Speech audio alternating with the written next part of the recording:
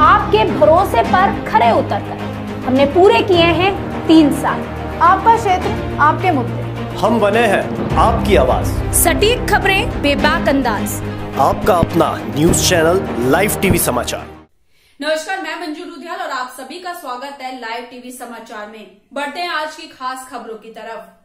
बांदा सफ़ाई कर्मचारियों ने जिलाधिकारी को सौंपा ज्ञापन। 16 महीने से नहीं मिला सफ़ाई कर्मचारियों का मानदेय। 16 महीने से मानदेय न मिलने के कारण सफ़ाई कर्मचारियों के परिवार भुखमरी की कगार में। ज्ञापन के माध्यम से सफ़ाई कर्मचारियों ने जिलाधिकारी से मानदेय दिलाने की रखी मांग। पंद्रह दिन में मानदेय न मिला तो अनशन और आंदोलन के लिए बाध्य होंगे सफ़ाई कर्मचारी।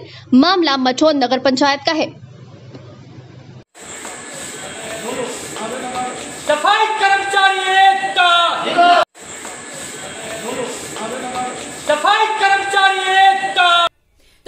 आज की खास खबरें। ऐसी खबरों को देखने के लिए, ऐसी अपडेट को देखने के लिए हमारे साथ रोज़ाना बने रहे लाइव टीवी समाचार लोकतंत्र की आवाज़ में। धन्यवाद।